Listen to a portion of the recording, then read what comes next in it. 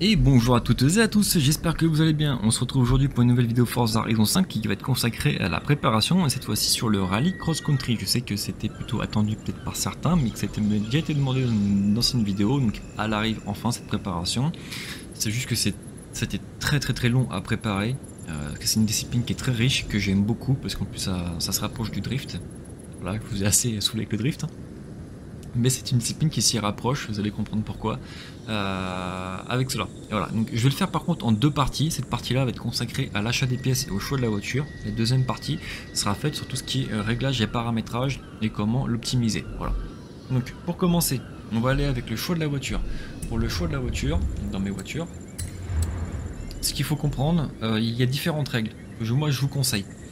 Que ça soit traction, propulsion ou 4 motrices, vous prenez ce que vous voulez par rapport à votre euh, plaisir de conduite, par rapport à votre style de conduite. Moi, si vous n'avez pas de préférence, je vous conseille très fortement le 4 motrices comme pour l'asphalte. Ça vous permet d'avoir une meilleure motricité et tenue de route. Surtout pour le rallye, c'est très très très très très important. Après, euh, pour ce qui est du poids de la voiture, il faut un poids initial pas au-dessus d'une tonne 5. C'est un peu comme le rallye, on veut une voiture légère. C'est d'autant plus important comme pour le drift, on veut une voiture légère. C'est d'autant plus important pour le rallye. Parce que le rallye, on va aller chercher de la performance, on va aller chercher du chrono. Donc il faut être rapide. Et pour avoir de la rapidité, il faut de la légèreté. Du coup, pas plus d'une tonne 5 de base avant préparation. Après préparation, on aimerait atteindre quelque chose d'une tonne 3 maximum. Si on peut avoir moins, tant mieux. Voilà. Donc, privilégier le 4 roues motrices, privilégier le, une tonne 5 maximum. Maintenant, tout ce qui va être indice de performance, je vous conseille de préparer une voiture qui va être en indice de performance au grand maximum, comme l'asphalte S1. Parce que S2 et X, je trouve ça complètement what the fuck, il n'y a aucun plaisir de conduite. Euh, moi, il n'y a rien d'amusant. Dans le S2 euh, et le X, surtout le X, je trouve qu'il n'y a rien d'amusant. On a l'impression d'être en pilotage automatique, il n'y a, a, aucune saveur. Voilà, c'est fade. Euh, S1 et A800, d'autant plus en rallye A800, vous allez voir que vous allez vous éclater comme pas possible avec du A800 en rallye. Pour le choix de la voiture, après, spécifiquement, vous pouvez prendre ce que vous voulez, mais c'est pas trop sur quoi vous orienter. Vous avez des voitures qui sont déjà spécifiques, qui sont déjà typées pour le rallye. Si on regarde par exemple euh, cette fois-ci côté Europe et soyons un peu chauvin côté France, vous avez euh, Renault Renault Renault, euh, vous avez du coup la R5 Turbo qui est, complètement délire, qui est vraiment euh, super fun à, préparer et à conduire. Petite voiture, ancienne voiture qui est voilà. Vous pouvez vous amuser avec. Vous avez celles qui sont vraiment aussi typées euh, Mégane RS et R26 qui sont bien pour le pour le rallye. Et chez Peugeot, chez Peugeot, vous avez aussi de quoi faire. Vous avez la Turbo 16 qui va être un peu dans le même genre que la R5 Turbo de chez Renault petite voiture nerveuse, il euh, y a de quoi s'éclater avec, vraiment délire. Après vous avez les autres, de ça c'est super, là, et celle-ci rallye, hein, qui sont faites pour. Je trouve juste honteux, euh, et je suis très déçu qu'il n'y ait pas, et d'ailleurs je crois qu'elle est dans aucun des Forza Horizon, parce que j'ai commencé avec le, euh, avec le, Forza Horizon 4, même si j'ai peu joué, mais j'ai pas le souvenir de l'avoir vu, c'est qu'il n'y a pas la Peugeot 405 T16, qui est une voiture emblématique et mythique de Harry Vatanen, pour ceux qui connaissent pas, c'est un pilote de rallye qui est juste une brute, franchement, qui, est monstrueux, qui a, fait une course sur le Pikes Peak, euh, qu'il a, montré de, sur le devant de la scène euh, aux États-Unis. Parce qu'à la base, Pikes Peak, c'était donc une montée d'un mont hein, de 4900 mètres d'altitude qui était réservé aux, Américains. Après, ils sont ouverts, ils ont invité du coup euh, les Européens avec Harry Vatanen. Il est parti là-bas, il les a ridiculisés. Voilà, eux, ils étaient avec leur grosse américaine, leur grosse mémère à monter ça. Lui, il est arrivé avec une TSS préparé, allégé, turbo et tout là, il a tout défoncé. La course elle est magnifique à voir, je vous mettrai un extrait au montage. Mais allez la voir en entière parce que le, pilotage là, tout ce qui conduit de pilotage, euh, la vue, enfin tout est beau euh, de A à Z. Donc allez la voir si vous connaissez pas en plus le, phénomène Harry Batanen. Je vous la euh, recommande comme vidéo. Et dommage du coup qu'il n'y ait pas sa voiture, je suis très déçu. Sinon, en dehors de ça, si vous voulez pas forcément partir sur des voitures qui sont très spécifiques, euh, comme celle-ci, ou même les, les, Subaru hein, ou les, euh, les Evo, euh, vous pouvez partir aussi, et c'est là où justement que j'aime bien ça. Si vous avez une voiture de drift de cœur pour laquelle vous avez vraiment accroché, et eh ben généralement elles sont bien foutues pour aller faire du rallye. Et vice versa, une voiture qui se paie pour le drift, vous la mettez en propulsion, vous allez voir que vous allez, aussi vous éclater pour faire du drift. Si le moteur, encore une fois, il est, à l'avant. Mais pour le rallye, généralement, le moteur est à l'avant aussi. Euh, et si je vous montre ça en exemple concret, j'ai un peu pré-préparé. Ça, pour aller plus vite, sinon ça aurait été trop long. Euh, je l'ai fait avec la S15. On pourrait très bien le faire aussi avec euh, la Supra que je viens de terminer là pour le drift, que j'adore. Et là, on va prendre la Supra que j'avais du coup déjà prise parce que j'avais déjà préparé. Non, je voulais pas quitter. Donc on va revenir rapidement. Hop, donc on va aller dans garage, amélioration réglage. Ici, j'ai tout réinitialisé. Non. Rétablir par défaut, oui. Ok, ouais, ouais, ok. Ah oui, parce que oui, c'est vrai que j'ai changé les pièces. C'est vrai que j'ai changé les pièces déjà, pour aller plus vite. Mais euh, pour l'idée, on va regarder ça de suite. C'est l'achat de pièces. Ce qu'il faut faire, donc du coup, c'est passer en 4 motrices, ce que j'ai fait. Voilà, hop là. Pour ce qui est tout ce qui est moteur, euh, privilégier vraiment très fortement s'il est disponible le 1 litre 6 Turbo Rally. C'est le moteur à avoir pour faire du rallye. Honnêtement, c'est le must-have. Je vais vous expliquer pourquoi. En rallye, si vous regardez des courses, des étapes de rallye, si vous regardez le pilotage euh, des, pilotes, hein, vous allez voir que les mecs ils sont full taquet tout le temps. Ils sont full full full taquet, l'aiguille à fond, on y va, on y va, et ça joue pas mal des vitesses entre 3, 4, 5. Voilà. Et entre ces vitesses-là, il va falloir du coup avoir pas mal de reprises et pas retomber, on veut pas une aiguille qui retombe bas dans les tours. On veut être au maximum dans les tours. À chaque fois, on veut être taquet. Et pour éviter d'avoir cette perte de régime et cette perte de, vitesse, et euh, eh ben en fait, on va privilégier un moteur avec du couple. Si on regarde d'un point de vue la puissance et couple, on voit que là, en puissance, si je prends euh, le moteur par défaut, par exemple, je suis à 250 chevaux, 275 euh, Nm, si je prends celui-ci, je vais monter à 465 et je vais même partir en fait. Ça sera plus, en fait, plus visible comme ça. Je vais partir. Voilà. On repart sur une valeur initiale. Je reprendrai les pièces, à pas. Si on regarde du coup la valeur initiale, on voit que de base on a 250 chevaux et 275 Nm. On a un peu plus de, couple, mais c'est pas, assez bien. Euh, pour du drift, ça aurait été pas mal, parce que comme je vous dis, pour le drift, on veut avoir de l'équilibre entre puissance et couple. Pour le, pour le rallye, on veut un peu plus de couple, parce que c'est le couple qui va nous permettre en fait de avoir une meilleure reprise sur les changements de rapport et monter plus vite dans les tours. Donc si on regarde du coup ce moteur là, qu'est-ce qu'il nous apporte? Et eh ben c'est ce qu'on recherche. Parce que si on regarde à côté, si on regarde maintenant le graphique, hein, si vous regardez le graphique, de base on est ici, on est tout en bas et tout si on regarde le graphique là sur les autres moteurs, on voit que c'est c'est pas vraiment très clean au niveau du couple. Alors que celui-ci, si on regarde du coup maintenant son utilisation, on regarde en bas à droite là, on euh, le nombre de tours, on est entre 0 et 10 000 sur l'axe des X là, même si le moteur euh, normalement il va jusqu'à 8000, voilà. Et si on regarde sur l'axe Y, là on a du coup tout ce qui va être le, grade de puissance et, euh, et, de couple. Le couple on a 450 Nm. 450 Nm, donc il se situe ici. Et si on regarde, en fait, le pic, il va commencer à environ 1300 tours. Euh, 0 1300 tours, c'est ça? Et il va aller jusqu'à 2400, parce qu'il va commencer à descendre à ce niveau-là. Euh, on peut même aller chercher plus loin, on pourrait même peut-être dire 4800. Donc toute cette plage-là d'utilisation, ça va être le pic du couple. Donc si on est sur cette plage au niveau des tours minutes sur le compteur, c'est l'idéal, c'est ce qu'on cherche à avoir. On veut cette optimisation. Donc ça, ça va être très utile à savoir pour tout ce qui est paramétrage des vitesses d'arrière qu'on verra dans la deuxième vidéo. Voilà, donc du coup c'est pour ça qu'en fait, mieux on a un pic de couple qui va être large dans l'utilisation, mieux ça sera. Et si vous regardez du coup maintenant par exemple à celui-là, bah, vous voyez que la plage de couple, si on veut aller chercher, le pic de couple en fait il va être à 5600 et après avant derrière, ça, bah, c'est pas ça en fait. On, va perdre, on va perdre en, on va perdre en couple, on va perdre en reprise, c'est pas ce qu'on cherche à avoir. Euh, celui-ci serait peut-être le plus euh, optimal si le, si le Turbo Rally n'existerait pas, mais euh, lui il existe, donc on le prend, c'est vraiment le plus rentable.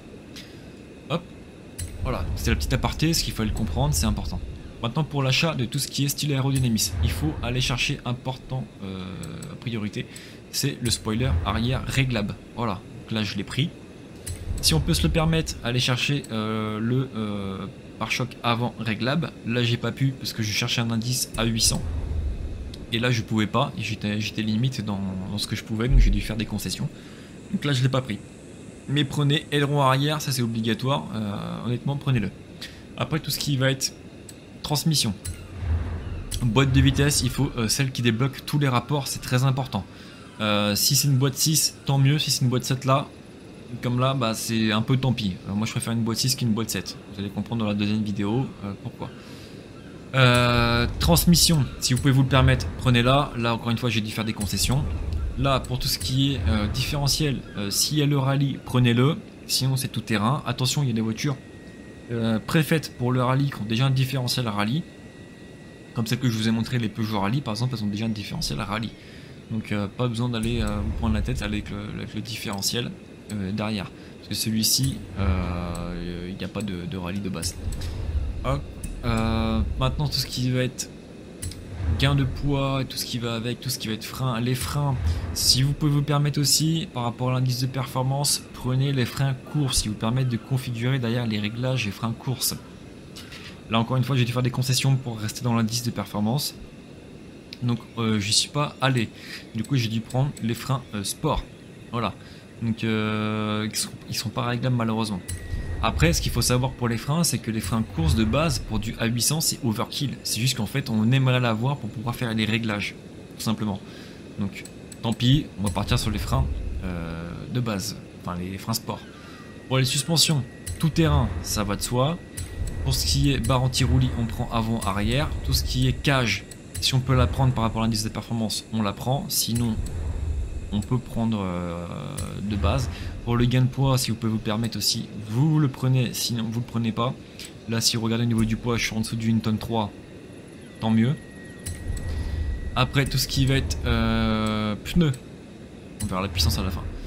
Pneus, c'est là que ça va devenir un peu compliqué à comprendre. Il va vraiment, vraiment ça falloir suivre, quitte à vous prendre, euh, quitte à prendre des notes c'est qu'il va falloir choisir entre gomme tout terrain et gomme conçue pour le tout terrain. Alors la gomme tout terrain, ce qu'il faut savoir, c'est que sur la version anglaise, donc la version originale du jeu, la gomme tout terrain, c'est la gomme rallye. Voilà, donc là en français ils ont mis euh, tout terrain. Alors normalement c'est la gomme rallye. Et là vous avez la gomme conçue pour le tout terrain. C'est un peu bizarre, mais c'est comme ça. La différence entre les deux. Donc là vous voyez déjà qu'il y a une différence d'indice de performance. Là on a 725 et là on a 741. Donc euh, en soi, on se dirait, bah ouais, non, c'est quand même bien plus rentable d'aller chercher euh, ce pneu-là parce que ça nous donne une plus grande marge après pour aller améliorer la voiture. Faut pas tomber dans le panneau parce que la différence, elle est notable. Le pneu euh, gomme tout terrain qui est dit normalement pneu rallye, ça va être un pneu à utiliser pour des courses avec un revêtement mixte avec de l'asphalte. À partir du moment où il y a de l'asphalte, il va falloir choisir ce pneu là pour du rallye ou euh, du cross-country. S'il y a du cross-country de l'asphalte, euh, honnêtement, prenez le tout-terrain. Euh, il va vous apporter beaucoup plus de tenue de route sur de l'asphalte, un peu moins sur le tout-terrain, mais vous allez avoir un juste milieu. Alors que si vous prenez la gomme conçue spécialement pour le tout-terrain, là, pour la tenue de route, ça va être un peu plus galère. Par contre, c'est sûr que pour, pour le tout-terrain, là, vous allez être bien. Donc, ce qui fait que si vous avez du mix avec de l'asphalte, vous partez sur ce pneu là. Si vous êtes maintenant sur du full gravier, sur la full terre, sur la full boue, vous prenez ce pneu là. Autre différence, c'est que ce pneu chauffe beaucoup plus vite sur l'asphalte que sur le pneu tout terrain. Donc si vous prenez ce pneu là, d'un point de vue pression derrière et tout, il va falloir régler parce que c'est un pneu qui est plus tendre avec des... Moi je vous le conseille pas, honnêtement. Après c'est si vous voulez euh, rouler de façon un peu plus réaliste ou pas réaliste, c'est comme vous le sentez. Euh, si vous voulez aller chercher des gains de performance pour aller gratter derrière, bah, vous prenez ce pneu là et vous allez gratter derrière du coup des performances euh, d'un point de vue puissance. Euh, vous allez voir que sur l'asphalte c'est un peu plus touchy. Donc celui-ci moi je préfère parce que je l'ai conçu pour une voiture euh, rallye mixte. Je prends ça. Sur le du cross-country avec full terre, vous prenez celui-là. Voilà. En formation quoi. Pour ce qui est choix des pneus, à l'avant vous prenez sur le pneu euh, de base d'origine à l'avant. vous n'avez pas besoin de l'augmenter. C'est vous le montez, vous testez ce que ça donne. C'est un peu comme le drift encore une fois. Vous testez ce que ça donne par rapport au ressenti, par rapport à la motricité, à la direction. Si euh, s'il manque de, direction, vous pouvez du coup euh, le diminuer. Euh, s'il y a peut-être trop, peut-être l'augmenter pour de l'augmenter. Mais de base, pour le rallye, le pneu à l'avant est plutôt fin. C'est pour ça que le pneu de base d'origine est plutôt pas mal, parce qu'on va aller chercher du coup de la finesse, de la motricité et de la précision. Ce qui va nous apporter du coup un pneu plus fin. Ce qui va nous apporter vraiment la, la, plus forte partie de la poussée de la traction, ça va être le pneu arrière. Et pour le pneu arrière, donc on va y arriver, Là, il va falloir du coup à quelque chose de plus gros, parce que c'est là on va aller chercher euh, toute la poussée, la traction. Les pneus avant vont nous diriger, et les pneus arrière vont nous pousser vers la direction. Voilà, ça c'est important à, savoir. C'est vraiment le pneu arrière qui va faire tout le taf au niveau de, euh, de la traction. Même si les pneus avant euh, servent aussi, hein, surtout pour les 4 motrices. Mais il va falloir du coup un pneu un peu plus gros. alors par contre, après plus gros, il y a plus gros et plus gros. 275, euh, par rapport à la puissance que je vais mettre dedans, c'est peut-être un peu too much. Encore une fois, euh, celui-là je l'avais déjà acheté de base pour le drift, donc je l'ai laissé, ça serait à tester. Donc j'ai mis le 275, mais je pense que le 255, je pense qu'il ferait déjà le taf amplement. Donc je vais le laisser comme ça. Pour ce qui est euh, style des jantes, vous prenez quelque chose, si vous pouvez vous le permettre, qui vous allège la voiture. Moi j'ai dû prendre celui-là parce que d'un point de vue indice de performance, je pouvais pas prendre le plus léger c'est comme ça, tant pis. Donc j'ai pris celui-là. Euh, pour ce qui est maintenant, disons que c'est pas une priorité, voilà, c'est par rapport encore une fois à l'indice de performance. Pour ce qui est de la taille des jantes, par contre, la taille des jantes, là, c'est comme vous le sentez, honnêtement. Moi, je suis juste la règle WRC, euh, du rallye. Euh, c'est si vous faites de l'asphalte mixte, c'est plutôt du 18 pouces. Si vous faites du tout terrain, donc ce qui va être donc terre, neige, boue, voilà, ça va être du 15 pouces. Le 15 pouces, je l'avais pas, mieux parce que je voulais partir sur du mixte. Donc je vais partir sur 18 pouces. Voilà, euh, asphalte mixte 18 pouces, tout ce qui va être full tout terrain 15 pouces. Avant-arrière. Donc là j'ai mis 18 euh, avant et arrière. À savoir en plus, c'est que plus vous allez partir sur une plus grande taille de jante, c'est comme pour le drift. Mais d'ailleurs comme pour toutes les disciplines. Plus la taille de la jante va être grande, plus il va falloir peut-être penser à avoir une largeur de pneu plus fine parce que euh, la taille de la jante plus va être grande, plus il va y avoir de poids, donc ça va demander plus de force à entraîner, le cycle de rotation sera plus long, donc il va falloir demander plus de couple. Euh, donc si vous cumulez grande jante, gros pneu, bah du coup il va falloir demander encore plus de couple derrière pour emmener la voiture. C'est pour ça que je disais que le 275 à l'arrière avec du 18 pouces, pour la puissance que je vais avoir, c'est peut-être un peu too much. Voilà, donc ça sera à essayer. Mais je pense qu'il y a peut-être des chances que je retourne sur le 255. Maintenant, pour la largeur de voie avant-arrière. Moi, j'aime bien l'avoir, honnêtement. Je l'ai testé avec le drift et je l'ai testé aussi avec le rallye. Euh, j'aime en avoir. Euh, ça apporte plus de stabilité, donc j'en mets à l'avant. À l'arrière, par contre, euh, j'en mets aussi, mais un peu moins que l'avant. Après différents essais, j'aime bien avoir un petit cran en dessous à l'arrière. C'est les préférences, c'est un style de conduite. Encore une fois, je vous dis que c'est très riche. là, ça va être par rapport à votre feeling. C'est comme ça que, que j'aime l'avoir. Voilà, maintenant qu'on arrive à la partie puissance. La partie puissance, il va falloir prioriser les pièces. Et la number one, et je pense que c'est la seule discipline où je vais vous dire de la prioriser, que ce soit cross-country ou rallye, c'est le turbo. Le turbo, euh, pourquoi le turbo? Encore une fois, je vais vous demander de regarder, hop, l'indice, euh, enfin tout ce qui va être puissance et couple, et le surtout le graphique. Si vous regardez le graphique, hop là, vous voyez le gain de couple de malade qu'on a, et de puissance aussi, hein, mais encore une fois, le rallye, on aime avoir du couple. Hein. Et là, on est servi. Bon, le 2, c'est un peu too much d'un point de vue de performance d'aller chercher. Même si on pourrait peut-être aller gratter. Euh, ça serait à voir. Il que j'optimise derrière un peu plus au niveau des pièces. Mais le niveau 1, en tout cas, c'est le minimum à avoir. C'est vraiment le strict minimum à avoir. Il faut aller chercher, c'est un nombre one des pièces qu'il faut aller prendre. Derrière, vous allez chercher l'arbre à cam. C'est les deux pièces qu'il vous faut euh, à récupérer. Arbre à cam et euh, le turbo niveau 1. Derrière, les autres pièces, bah, la cylindrée, on s'en fout. Le 1 6 amplement suffisant, il fait vraiment le café. Ça, euh, c'est pas non plus prioritaire. Voilà. Et euh, si, si, vous n'avez pas le 1 litre 6 parce que la voiture vous le propose pas, c'est quand même turbo Abracam et pourquoi pas les pistons derrière. Mais sinon, turbo Abracam. Voilà. Et derrière, vous faites en sorte d'équilibrer pour arriver à, à 800. Donc ça c'est pour la partie achat des pièces, pour la partie 1 et la partie 2 on verra après pour le réglage euh, étape par étape de toutes les de toutes les étapes. Voilà. Donc euh, j'espère que ça vous aura été utile et puis bah, je vous dis rendez-vous pour la partie 2 et puis bon jeu à vous, éclatez-vous bien et à la prochaine. Ciao